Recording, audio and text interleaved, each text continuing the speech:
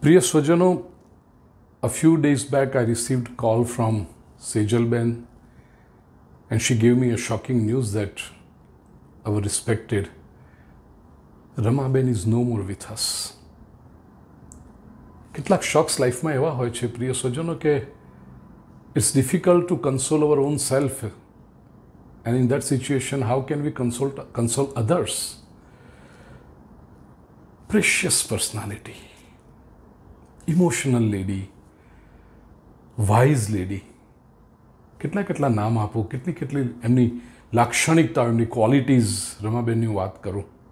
મારો પરિચય થયો દારેસ્લામમાં જ્યારે જયંતિભાઈ રાજાણીએ ભાગવત સપ્તાહનું આયોજન કર્યું હતું, તો કથાના સાત દિવસ તો રમાબેન સાથે હતા. અને એ વખતે એમની જે કોઠાસૂઝ જોઈ, જે રીતે she was meeting people treating people પ્રસંગ જે રીતે ઉકેલવાની એમની ક્ષમતા. હંસાબેન દરેક વાતમાં પૂછે, રમાબેન, કેવી રીતે કરીએ? રમાબેન કેવી રીતે કરીએ અને constantly she would advise her દરેકનું રિસ્પેક્ટ જાળવી અને સૂચન આપવું આ આ નેક બહુ ઓછા લોકો પાસે હોય છે. પ્રિય સ્વજનો, એ પછી, કથા પછી જ્યારે જંતીભાઈનો ખૂબ આગ્રહ કે, ગુરુજી, આપ અમારા દેશમાં આવ્યા છો તો ફરવા તો જવું પડે ગેમ પાર્ક્સમાં. અને ત્યાં જે ગયા, દિવસે ગેમ પાર્કમાં હોય ને સાંજે કોઈક ને કોઈક શહેરમાં રાતના રોકાવાનું હોય, સત્સંગ હોય, એ વખતે મારી સાથે ચંપાબેન હતા, ભાવનાબેન હતા. એ દિવસોમાં, એ પાંચ છ દિવસ જે અમે સાથે રહ્યા, એમાં જે મને રમાબેન સાથે ક્લોઝનેસ ઊભી થઈ વિચ આઈ પ્રિઝર્વડ એન્જોયડ અને હવે હું કહું કે I will remember for the rest of my life રમાબેનને હું જોઉં એટલે એક જ વસ્તુ મને યાદ આવે. ભાગવતની કથા કરતા હોઈએ અને યશોદાનું વર્ણન જે કરીએ ને, એ કેટલો પ્રેમ એ માતામાં. તો યશોદાનું વર્ણન કરું ત્યારે મને લાગે કે જ્યારે જ્યારે યશોદાબેન હશે ને તો આ રમાબેન જેવા હશે. દરેક પ્રત્યે પ્રેમ કરે, દરેકને પોતાના માને. લાગણી તો એટલી બધી. ને પ્રસંગ યાદ આવે છે કે પરિચય થયો પછી જ્યારે સમરમાં મારે અમેરિકા થવાનું થયું અને એમને ખબર પડી કે હું અમેરિકામાં છું, તો ક્યાંથી એમણે મારો નંબર શોધી લીધો? એ જમાનામાં તો કંઈક મોબાઈલ ફોન બી નહોતા. તો લેન્ડલાઇન હું જેમના ત્યાં તો એ શોધી લીધી એમણે, મને ફોન કર્યો કે હું રમા, તમારે ખાસ આવવાનું છે. અને એડિસન એમના ઘરે જ્યારે પધરામણી કરી, પ્રિય સ્વજનો લેટ મી ટેલ યુ આજ દિન સુધી અમેરિકામાં ઇન્ડિયામાં પોસિબલ છે, આફ્રિકામાં પોસિબલ છે ટુ એન એક્સટેન્ટ લંડનમાં પોસિબલ છે.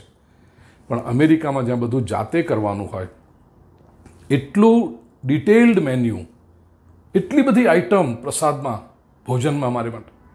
હું તો બેન, આ બધી તમારે બે દિવસ પહેલાંથી તૈયારી કરીને મને જ્યારે પાછું ત્યાં તો પિકઅપ કરવા આવવાનું હોય ને એ બધું હોય, તો એ દિવસે પણ બપોરે રાતના કંઈક બે વાગે જાગી ગયા હતા, નાહી ધોઈને રસોઈ બનાવીને બધું મારી આંખમાં વખતે આંસુ આવી ગયા. મેં કીધું, રમાબેન, આટલું બધું?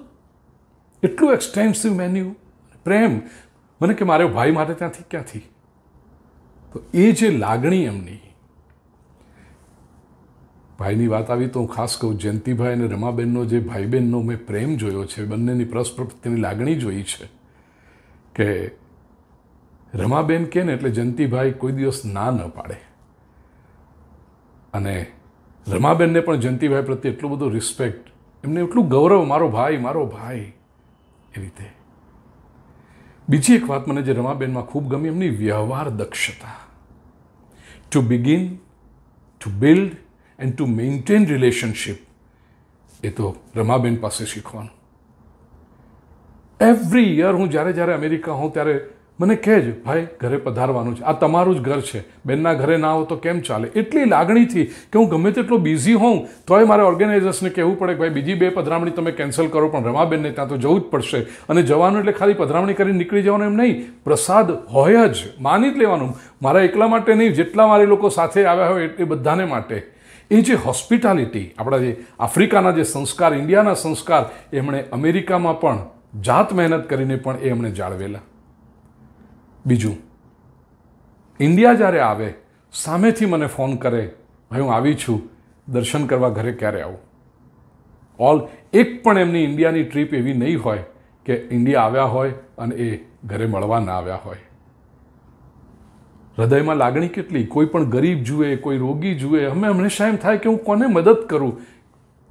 She is always a giver એ આપીને રાજી થાય.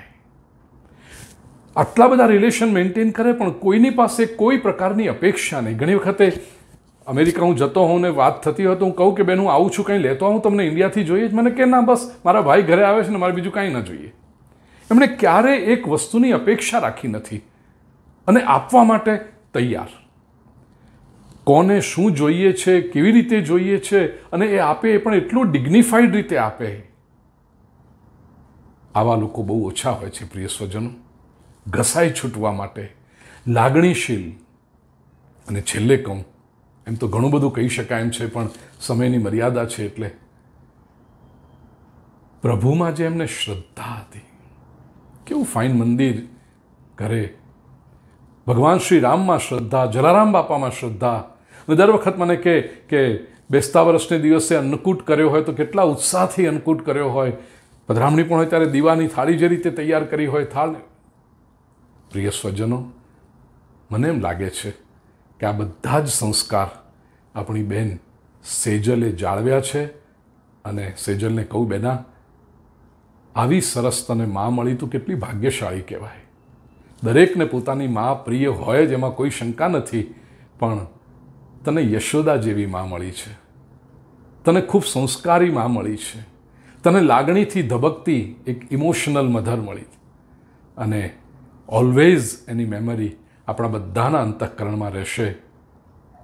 ઉર્વેશભાઈએ જ્યારે મને લંડનથી ફોન કર્યો સમાચાર આપવા માટે કે ગુરુજી આ સમાચાર છે, ત્યારે ઉર્વેશભાઈ ઢીલા થઈ ગયા કે રમા ફૈબા ના રહ્યા આવે તો આટલો પ્રેમ, આટલી લાગણી જેણે દરેકના હૃદયમાં ઊભી કરી, એવા આપણા સૌના પ્રિય, આપણા સૌના આદરણીય રાજાણી પરિવાર અને ભોજાણી પરિવાર એ તો મિસ કરશે જ.